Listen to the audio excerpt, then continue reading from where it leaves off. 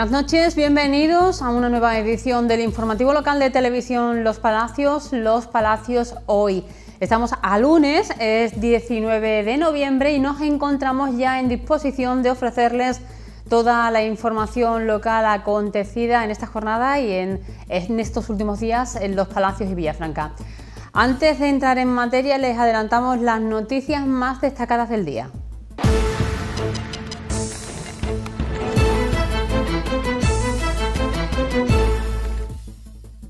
La Delegación Municipal de Igualdad reparte paneles con figura de mujer con mensajes en positivo por diferentes establecimientos públicos y privados para que se expongan durante la semana del 19 al 25 de noviembre. El Partido Popular de los Palacios critica la gestión que en materia de sanidad ha llevado a cabo el gobierno de Susana Díaz. Propone dignificar el trabajo de los profesionales sanitarios y acabar con la lista de espera. Adelante Andalucía se confirma como la opción política que defenderá verdaderamente al pueblo andaluz y cumplirá con la financiación autonómica, pagando a los municipios lo que Susana Díaz les debe por la patrica. En los dos próximos cursos, 15 alumnos y 5 profesores del Instituto Almudeine podrán desplazarse hasta países europeos gracias al proyecto Erasmus. El alcalde Juan Manuel Valle publica un bando para dar a conocer la visita institucional a nuestro pueblo de una delegación de representantes de la Asamblea del Poder Popular de los Palacios de Cuba.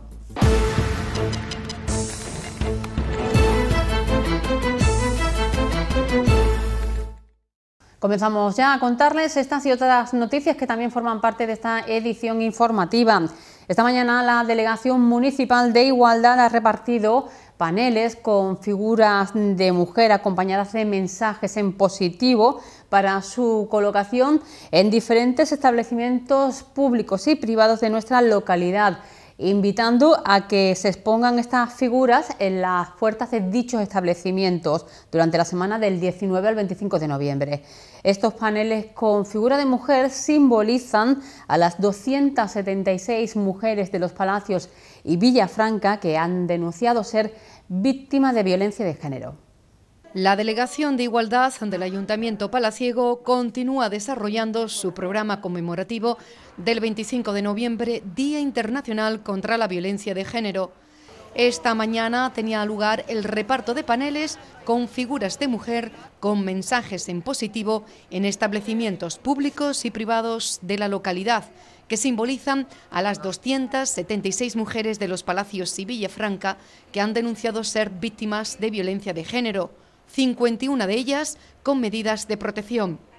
Estos paneles con figuras de mujer estarán expuestas en las puertas de los establecimientos durante la semana del 19 al 25 de noviembre. Bueno, pues hoy desde la Delegación de Igualdad damos pistoletazo de salida a una semana llena de, actividades dirigidas pues, a la concienciación y a la solidaridad con las víctimas de, la violencia machista que por desgracia en nuestro país pues, se ha saldado desde que se empezaron a contabilizar en el 2003 con 971 mujeres. Por ello, pues además de poner un lazo morado eh, en los diferentes edificios públicos del municipio, como colegios, ayuntamientos e instituto se ha hecho una gran campaña poniendo un lazo por cada una de esas víctimas eh, por los balcones o ventanas de las viviendas de aquellas personas que han querido colaborar con, esta iniciativa y que bueno, desde hace ya más de una semana pues se agotaron todos los lazos en la delegación de igualdad. Y hoy pues estamos repartiendo estas figuras de mujer que simbolizan a las 276 mujeres de los palacios de Villafranca que han denunciado ser víctimas de violencia machista. Y además de esas 276, pues 51 cuentan con medidas de protección. Entendemos que es una cifra bastante elevada tanto a nivel local como a nivel nacional y toda la sociedad pues tiene que tomar conciencia de este gran problema, de esta lacra social que nos está afectando a toda la sociedad en general, pero fundamentalmente pues a las mujeres a su entorno y por desgracia a sus hijos, que además están siendo también víctimas mortales eh, de esta violencia machista. Estos paneles con siete mensajes distintos han sido pintados por las alumnas junto a su monitora del taller de pintura artística. La verdad que ha habido muchísima participación. Las mujeres han dedicado dos semanas a hacerlo y con su entusiasmo y muy, muy contentas todas, ninguna se han quejado. Bueno, eh, hay mensajes distintos, ¿no? Hay siete mensajes, siete modelos diferentes. Las mismas mujeres también han, han pensado en hacer diferentes tipos de modelos junto conmigo. Se han informado y han querido hacer modelos diferentes conmigo. También desde hoy en muchas viviendas del municipio lucen en sus ventanas o balcones lazos morados en solidaridad con todas las mujeres que han sido asesinadas a manos de sus parejas o exparejas y en apoyo a sus familiares. En este caso han sido las alumnas y monitoras de los talleres de corte y confección, labores de artesanía y de manualidades, las encargadas de confeccionar un total de 971 lazos morados, un lazo por cada víctima desde que se empezaron a contabilizar en el año 2003. La participación de los talleres, tanto en el taller de corte y confección, como el de labor de artesanía, como el de manualidades, porque todo no es cosa máquina, ha habido que hacer otro tipo de labor en, los lazos, estamos hablando de alrededor de unos mil lazos que, que se ha hecho, la participación sin ningún problema. Las mujeres aunque parezca que no, siempre estamos dispuestas, siempre estamos colaborando y no hay ningún problema en colaborar. La verdad es que sí, somos muchas, a Dios gracias por suerte en los talleres y todas, todas colaborando, no solo las de corte y confección, las de labores, las de manualidades, todas. Las compañeras han sido las primeras también que hayan dicho, mis mujeres quieren participar, o sea, sin ningún problema. Y ha sido una cantidad de lazo considerable, muy considerable, la verdad es que sí. Pues la organización ha sido que hay unos talleres que no tienen disponibles unas máquinas de coser y una remalladora, entonces ellas pues se han dedicado a cortar o a, cortar los lazos, a plantearlos, a plantearlos con alfileres para que otras simplemente echaran los pespuntes, o sea, lo hemos repartido bastante bien. María Ángel cogió la mitad de, piezas de tela, porque eran piezas de tela, eran ocho piezas de tela, yo cogí la otra mitad y lo repartimos entre las mujeres, entre las compañeras sin ningún problema. Al contrario, cuando terminamos, pues mira, me faltan esto, me falta aquello. Yo estaba bajando escaleras, María Ángel, dame lacito, María Ángel, tiene alfileres, o sea que no había ningún problema, la verdad es que no además de muchos vecinos que se han sumado a esta iniciativa puesta en marcha por la Delegación de Igualdad, los edificios públicos del municipio también lucirán lazos morados en sus fachadas, como en el consistorio palaciego, en recuerdo de todas las víctimas y sus familiares. Al acto simbólico han acudido los delegados de Seguridad Ciudadana, José Manuel Triguero, de Recursos Humanos, Rocío Lai, la delegada de Asuntos Sociales Carmen María Molina y el alcalde Juan Manuel Valle. La semana del 19 al 25 de noviembre se completará con un taller, un encuentro de asociaciones de mujeres locales, la lectura del manifiesto en la Plaza de Andalucía, un debate y una charla conferencia. Hoy durante toda la mañana estaremos repartiendo estas figuras de mujer eh, por el centro y por todas las avenidas en los comercios y establecimientos que así lo han solicitado.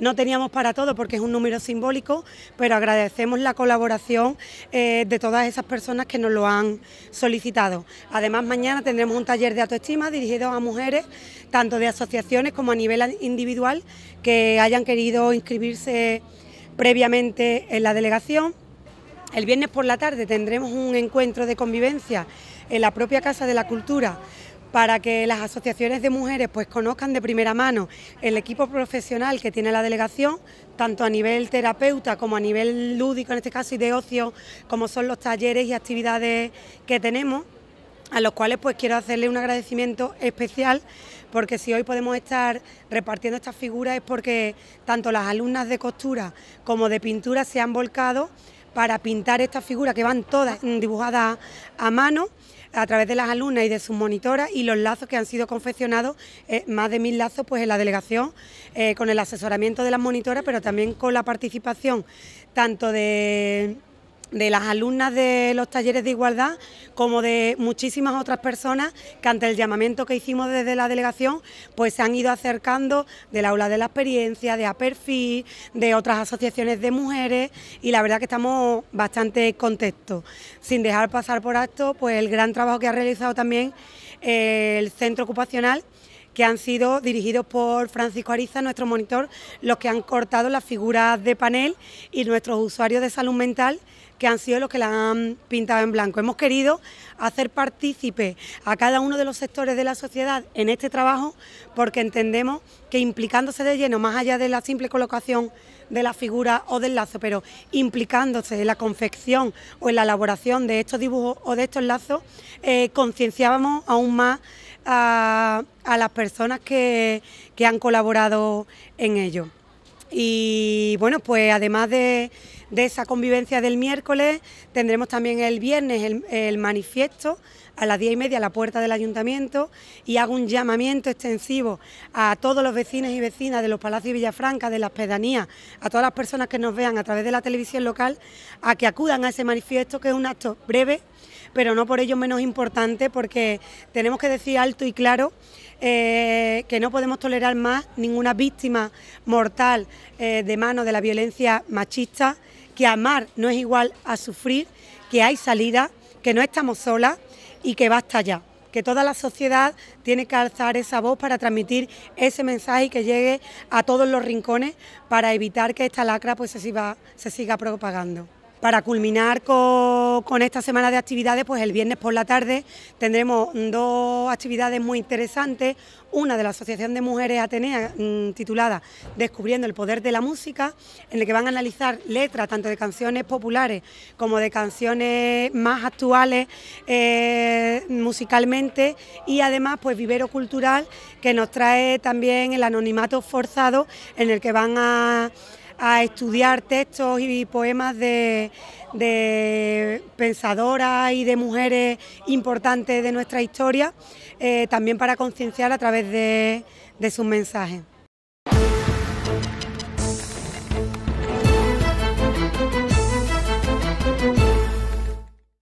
Comenzamos ya con la información de campaña electoral. El Partido Popular de Los Palacios ha ofrecido una rueda de prensa donde ha criticado la gestión que en materia de sanidad está llevando a cabo el gobierno de Susana Díaz, con recortes que han afectado tanto a las infraestructuras como al servicio que ofrecen los profesionales sanitarios.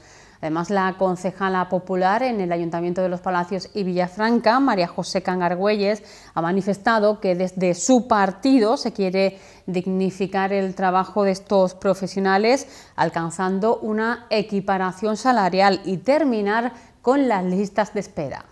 Las últimas palabras de la señora Susana Díaz dice que va a abrir 15 hospitales.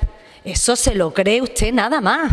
Si tenemos ahí un hospital militar a menos de 25 kilómetros y usted se niega a abrirlo. Usted y los socios de gobierno que se echan. Y todo esto no solamente recae en nosotros, los ciudadanos de a pie, también recae en los grandes profesionales que están padeciendo esta mm, forma de gobernar que no entendemos desde el Partido Popular, el gobierno socialista. Basta ya de que nos mangoneen Recortes de personal que están sufriendo estos profesionales, como he dicho, de casi 7.800 puestos de trabajo. Contratos precarios. Desde el Partido Popular se quiere dignificar el trabajo de estos grandes profesionales y con ello conseguir también una equiparación salarial con el resto de las comunidades. Acabar con esas listas de espera operarse en un plazo mínimo de 60 días y un especialista que lo podamos tener en 15 días. Acabar con esa subasta de medicamentos que está dando tanto que hablar, saliendo incluso en programas de televisión. Mejorar, al fin y al cabo, esa infraestructura sanitaria que tan buena hay en el resto de España. Creo que es hora de que Andalucía coja otro rumbo, que desate vela ante un cambio de aire que ya está bien de esos 40 años de socialismo con sus amigos de embarque, que el Partido Popular quiere mejorar nuestra tierra, que quiere garantías de cambio y por ello desde aquí, desde el Grupo Popular de los Palacios, te pedimos el voto. Vota Partido Popular. Vota a Juanma Moreno en estas elecciones andaluzas, el 2 de diciembre. Muchas gracias. Continuamos con la información de campaña electoral. Adelante Andalucía se postula como la única opción política que va a defender verdaderamente los intereses del pueblo andaluz cumpliendo con la financiación autonómica. El secretario de Organización de Izquierda y Progreso, Izquierda Unida, José Manuel Triguero, ha recordado además que desde 2013 está aumentando la deuda que por la patrica viene contrayendo Susana Díaz con los municipios andaluces y que en el caso de Los Palacios y Villafranca supera los 3 millones de euros. Hoy queremos recordar que la Junta de Andalucía, gobernada por el PSOE, nos debe a todos los palaciegos y palaciegas más de 3 millones de euros en concepto de la patrica, Desde el año 2013, las cantidades que tienen que pagarnos a los ayuntamientos se mantienen congeladas, incumpliendo así una legislación aprobada en el propio Parlamento andaluz. Susana Díaz y el PSOE vienen pagando cada año menos de lo que nos corresponden a todos los pueblos de Andalucía. Esta deuda sigue creciendo desde 2013 y con los Palacios de Villafranca se acumula ya más de 3 millones de euros. Un dinero con el que nuestro pueblo podríamos estar invirtiendo en mejorar nuestros parques, en arreglar nuestras calles y los caminos rurales, o incluso podríamos pagar más rápido a los proveedores. Pero no podemos hacerlo porque el Gobierno de Susana Díaz se sigue quedando con el dinero que nos pertenece a los palaciegos y palaciegas. Y mientras tanto, el PSOE de los palacios se mantiene callado y no defiende los intereses de los palacios y Villafranca. Seguirá callado en agradecimiento seguramente al enchufe de su secretario local en la Junta de Andalucía. Pero este grave incumplimiento, esta deuda que se acumula ya, que parece vergonzosa, es momento de recordarla, ahora que en campaña electoral vendrá el PSOE de Andalucía para pedir nuestro voto. Y hacemos un llamamiento a todas las personas que con anterioridad han confiado y han apoyado al PSOE de Andalucía, a todos esos vecinos y vecinas de los Palacios de Villafranca que se sienten engañados por las mentiras y los incumplimientos del PSOE de Susana Díaz. Les decimos que el próximo 2 de diciembre voten Adelante Andalucía, la opción política que defiende verdaderamente al pueblo andaluz, que cumplirá con la financiación autonómica y le pagará a los municipios lo que nos debe por la patrica y lo que nos corresponde según la ley de financiación autonómica.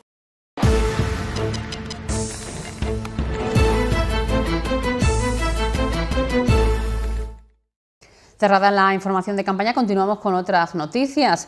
Gracias al proyecto Erasmus que ha sido concedido por el SEPIE, un total de 15 alumnos y cinco profesores del Instituto Palaciego Almudeine podrán desplazarse en los dos próximos cursos a países europeos como Polonia, Irlanda, Italia o Alemania con el objeto de mejorar conocimientos e intercambiar experiencias en materia de formación profesional de grado medio y de formación profesional básica.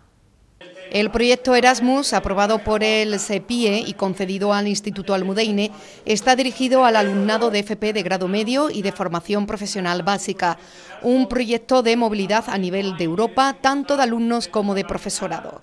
Se trata de un proyecto a dos años en el que participarán un total de 15 alumnos y 5 profesores que durante ese periodo podrán mejorar conocimientos, además de intercambiar experiencias en materia de formación profesional.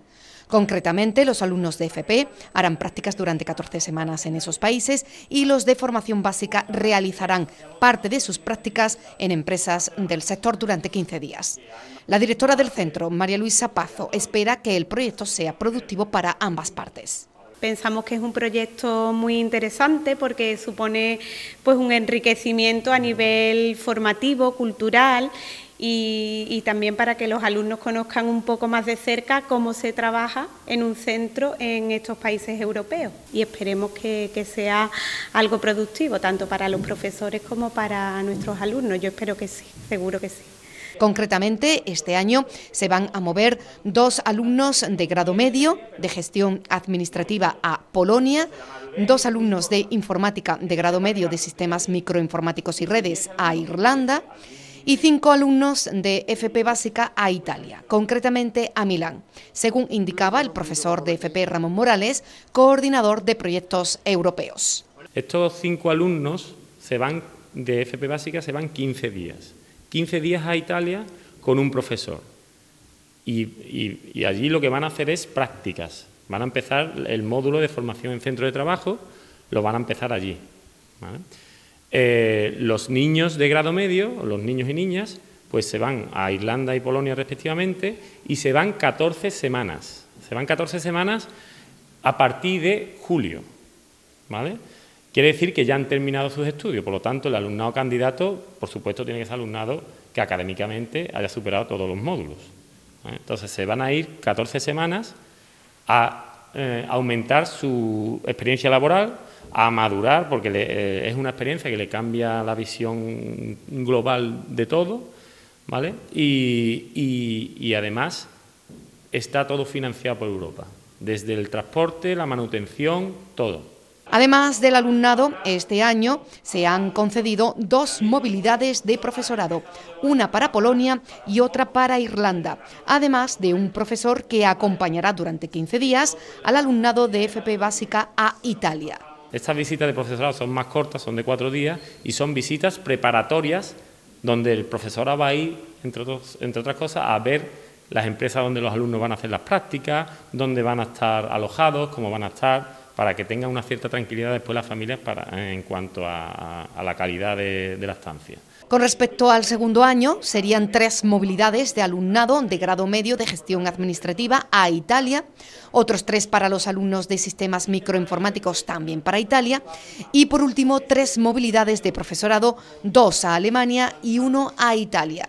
Todo eso hace un cómputo global de 20 movilidades en dos años y, nuestra idea es darle continuidad a este tipo de proyectos. Ya de, hecho estamos elaborando otro proyecto Erasmus para, mm, que no, para darle continuidad, como digo, incluyendo también el nuevo ciclo que tenemos de producción agropecuaria, que es de grado medio también. El proceso de selección del alumnado comenzará a partir del mes de enero. El alumnado, los criterios de evaluación, por supuesto, es académicos, pero mm, mm, es muy importante también el tema madurez, y por supuesto si alguien tiene un tema de, idiomas, pues mejor. ¿vale? Pero fundamentalmente nosotros pedimos eh, académicamente que haya aprobado, pero que, eh, que, veamos que se puede desenvolver medianamente bien durante 14 semanas en un entorno que no es el suyo habitual de confort, donde va a estar conviviendo con alumnos de otros, de otros países y donde se tienen que, entre comillas, buscar la vida. ¿vale? Entonces, bueno, pues eh, nosotros lo que no queremos es que la, alumna o el alumno que vaya a los tres días diga, mira, mm, yo me quiero ir a mi casa, porque es que entonces Europa le, puede, le va a exigir la devolución de, todo lo que se ha gastado. Por su parte, Aaron Caro Ruiz, alumno de segundo año del ciclo de sistemas microinformáticos y redes, candidato a Irlanda, espera formar parte de la lista definitiva.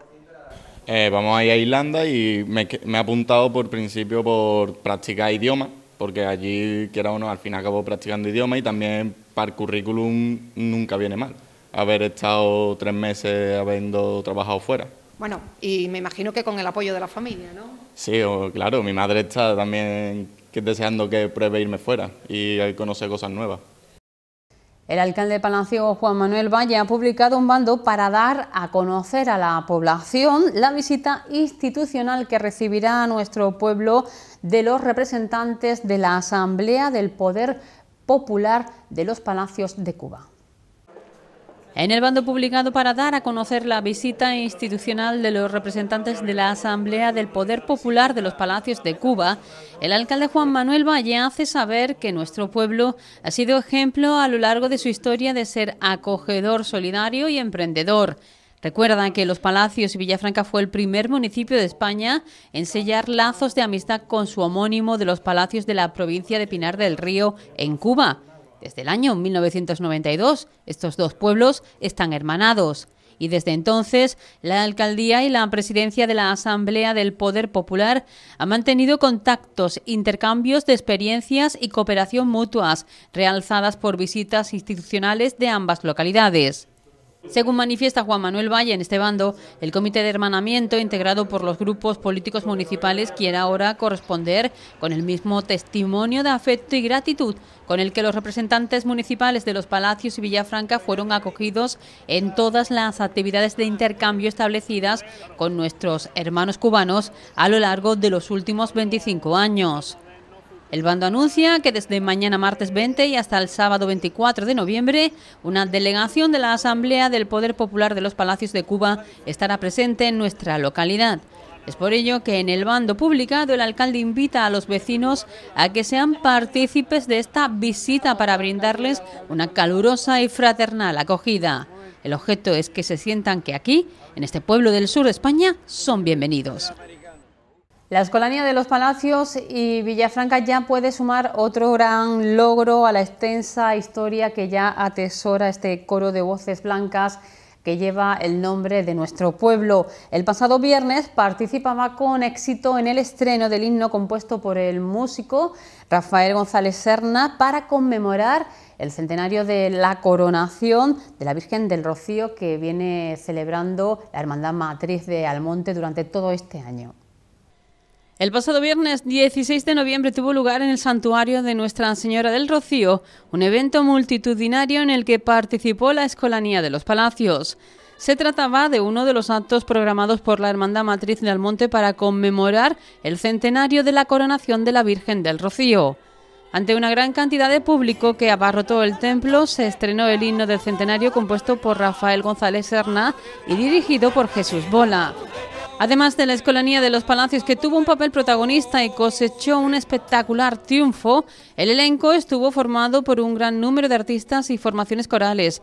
Los solistas fueron Joana Jiménez, José Manuel Soto, Arturo Pareja Obregón, Manuel Lombo, José Manuel Elmani, Juanini el Marismeño y Juan Rafael. Por su parte, las agrupaciones corales participantes en la interpretación del himno han sido Siempre Así, Coro de la Hermandad Matriz y la Coral Polifónica Jarcha, además de las agrupaciones instrumentales Escuela de Tamborileros de la Hermandad Matriz de Almonte y una orquesta de cámara. Entre los asistentes del mundo de la política, del arte y la cultura se encontraba el hermano mayor de la Hermandad del Rocío de los Palacios, Federico Maestre, que al igual que Enrique Cabello, recibieron numerosas felicitaciones por la magnífica actuación de los niños palaciegos. Todos los artistas mencionados han grabado un CD que se ha puesto a la venta y cuyos beneficios serán destinados a la obra social de la Hermandad Matriz de Almonte, organizadora del acontecimiento.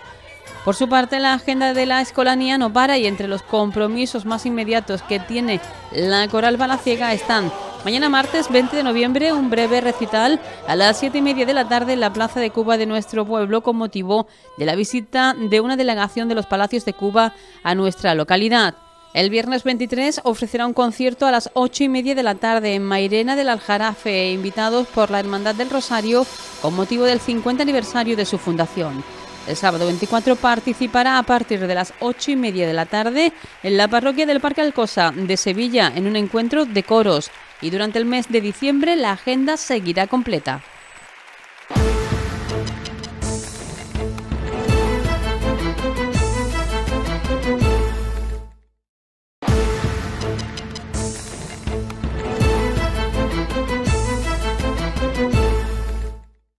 Retomamos la información con la actualidad deportiva local y nos centramos hoy en ajedrez. El equipo A del club Ajedrez Los Palacios ha terminado segundo de grupo después de empatar frente al Oromana Broncesbal. Un empate que le permite promocionar a División de Honor.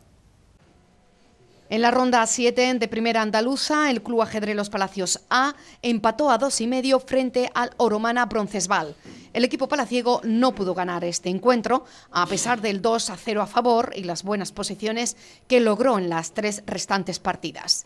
Pero a pesar de no llevarse la victoria, los locales han terminado segundo de grupo y promocionan a División de Honor. Será un camino muy difícil, pues tendrán que pasar dos tramos.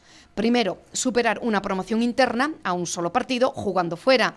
Y segundo, superar otra promoción a doble partido contra equipos durísimos. En la ronda 8 de preferente provincial, el Domingo Román perdió por tres y medio a cuatro y medio frente al Alequines Partinas. Este encuentro entre los cuarto clasificados de cada grupo solo servía para posicionarse mejor en la tabla de cara a una posible promoción a Primera Andaluza. En Primera Provincial, en la ronda 7, los Palacios C perdió por dos y medio a cinco y medio frente a la Peña Bética B de Pilas. Con un equipo con varios niños del equipo D supliendo a los titulares, es muy difícil que el C pueda competir con garantías en una categoría tan alta. Ahora comienza la segunda fase con el objetivo de quedar primero de su grupo y evitar el descenso. La posibilidad de poder contar con los titulares, ahora que no compite el equipo de preferente, le da posibilidades de ganar los dos próximos encuentros y así mantener la categoría. En la ronda 7 de tercera provincial, el D también perdió, en este caso por 0 a 4 frente al CAS Carsen de Sevilla. Los más pequeños de la Casa del Ajedrez de Sevilla fueron bastantes mejores que los nuestros. Con respecto a la próxima jornada, el equipo de Primera Andaluza jugará la promoción interna. En el transcurso de la semana se conocerá el rival al que se enfrentará los palaciegos. En preferente provincial, el equipo Domingo Román descansa, a expensas de si promociona o no. En primera provincial, el equipo C visitará al Tusan C de Sevilla. Y por último, en tercera provincial, el D viajará a Espartinas para jugar contra el Alequine 12.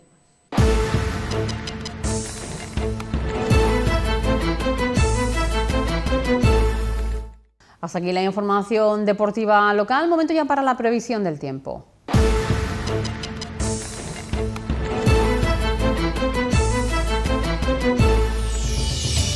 Mañana martes tendremos predominio de los cielos nubosos, tendiendo a muy nubosos, que dejarán precipitaciones débiles durante la mañana. Temperaturas con pocos cambios. Vientos de componente suroeste a sur por la tarde.